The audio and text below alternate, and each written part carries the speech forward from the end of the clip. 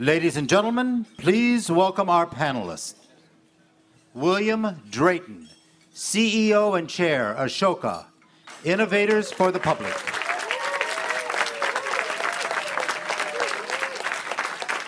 His Excellency Mohammed Al Gergawi, Minister of State for Cabinet Affairs, United Arab Emirates, Chairman, Dubai Holding.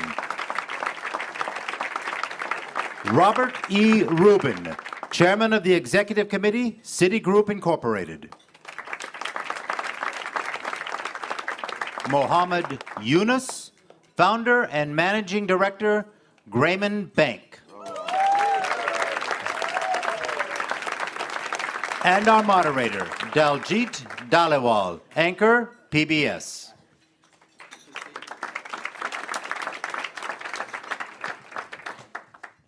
Each of our panelists have produced high impact results in their own unique way. So what we want to do this morning is to share some of those success stories uh, with our audience and talk about how they are approaching uh, some of the world's most intractable problems with innovative and exciting solutions. Last but not least, we have with us Bill Drayton, who popularized the term social entrepreneur. He's also President Clinton's uh, pick, apparently, to become a winner of a Nobel Prize, I think. Is that correct? your organization um, wants to engage young people. It is engaging young people, and uh, Mr. Gergawi gave us some examples of how they're doing that in their part of the world. Talk a little bit about why you think it's important to engage young people, and also what are some examples of some of the projects that you're most proud of in terms of Ashoka's work? Share some of those success stories with us. Um, this brings us back to how do we get to a world where everyone is a change maker? Um, there's a big bottleneck. Uh, only the children of the elite are given the opportunity when they're growing up to know that they're change makers, to actually master the very complicated social skills, not genetic skills, empathy, teamwork, leadership. The only way you master that is by practicing. And the only way that you know that you have those skills is by having done it. And the critical time is before 20. When we interview the entrepreneurs that we work with, you can almost always find that they started as a teenager. They, they had the experience that they had an idea, they built a team, they left something. Once that happens to someone, they are a change maker for life.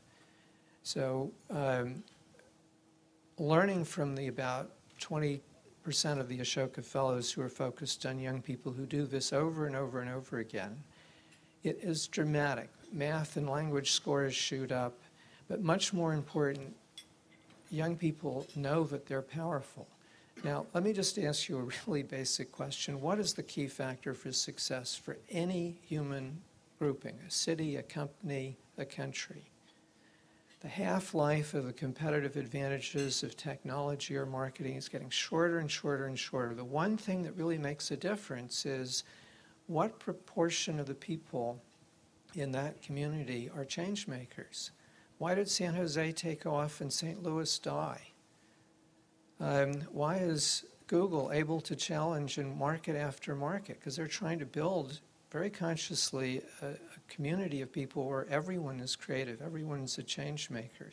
We know that that's what the future is about. Now, how do we actually make that happen? So we are working with the fellows across the world to build a civil rights, a women's movement for young people so that not just the children of the elite, so all young people have the experience of being powerful, which means causing change, which is what the whole Clinton effort is about. What is giving? Giving is ultimately causing change. Uh, that's what makes everyone in this room happy. We're, we're confident. We know we can learn anything, we can do anything. We have the gift of knowing we're change makers. It's almost hard to imagine what it's like not to have that gift.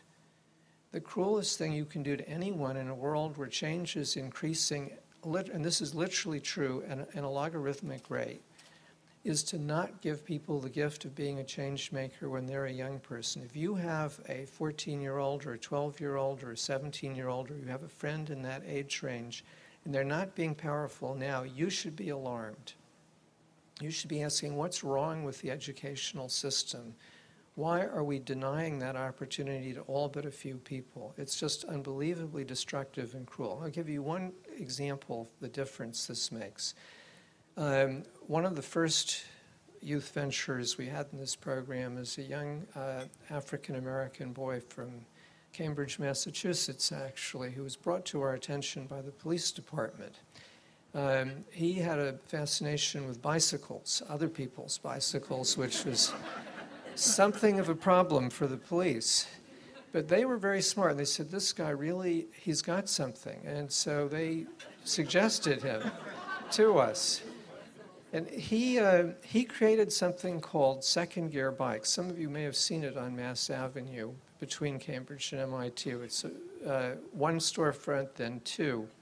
And his deal was any young person in the neighborhood could come, and if they worked uh, and learned for 35 hours how to build and rebuild bicycles, they get a free bike. Now, how do you get the free bikes? Well, look, Cambridge police, as you know, have lots of bikes because they recover them and they can't find the students. So they're dying with bicycles. Um, so he had to have a supply problem. Well, of course, he, many uh, kids came through this program. It was very dramatic. You go there, and, and you know, we talked to him about his not. This is not just a bike shop. This is an early step in this revolution of everyone a change maker. He got that. He was very capable and very eager to tell other people that that's what he was doing. Now, imagine, and, and he's now gone not to jail but to college and is, is uh, a success. Now, imagine if we had 100,000 young Americans every year who had that experience. And, and our experience is that every Jason, you have three to five in the core group and maybe 20 doing the tutoring or running three hours of the virtual radio program a week or whatever it is. So you have a multiplier. If we have 100,000 young Americans starting their own idea, building their own organization, leaving something lasting, tutoring service, whatever, um, that means 2 million young Americans every year are having that experience. That means we can tip the culture in school after school. If you have five of these groups that succeed, that means 100, 150 kids, five peer groups selling to their peers. They can do it better than any of us can. You start creating cultures of competence and can versus can't. I would argue that we've got to do this all over the world. Your points in the Middle East are exactly right. Any country that falls behind in the proportion of its population or change makers is going to be a loser. 10 years, 15 years from now, and the opposite is true. This is absolutely critical. But you say that everyone is a change maker, but when you're cultivating uh, role models and your fellows across the world, isn't it natural to want to sort of focus on the brightest and the biggest? So, in, in that sense, isn't there a, a kind of a, a conflict of interest, sort of on the one hand saying that everyone can be a change maker, but the natural inclination is to want to kind of focus on a few of the best. So, how do you marry those two conflicts? Uh, I'm, I'm really glad you asked that question because one of the things that just upsets me actually quite a bit is when people say, Well, I don't believe that everyone can be a change maker.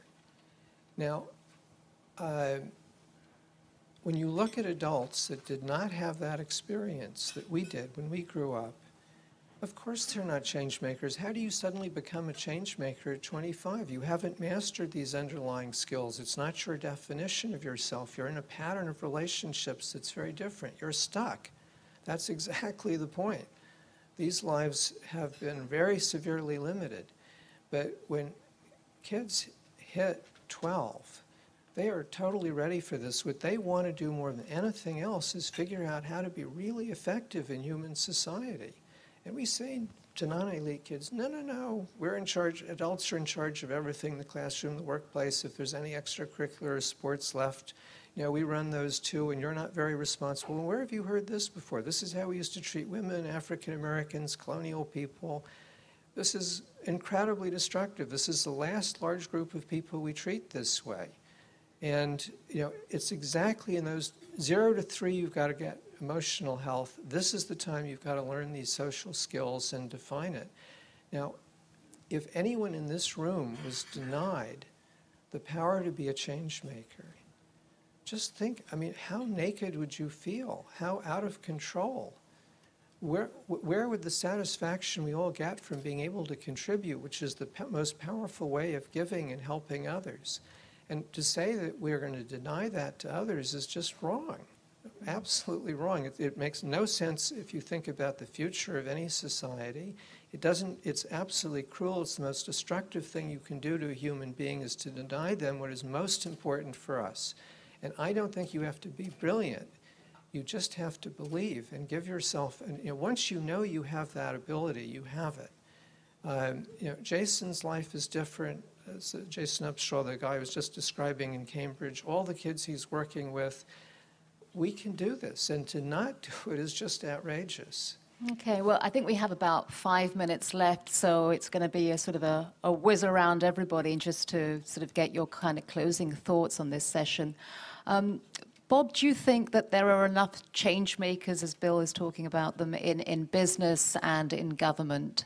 I think Bill's point is essentially right. Actually, Bill, if you, businesses that have tried to empower their workers have had remarkable results, and I, I think your point is very well taken. I, uh, I think that uh, I know of cases of businesses that have gone out broadly amongst their workforce, just regular mill, run-of-the-mill workers, and have said, "All right, what would you do in this situation?" and have had tremendous results from it. So I think your point is basically right.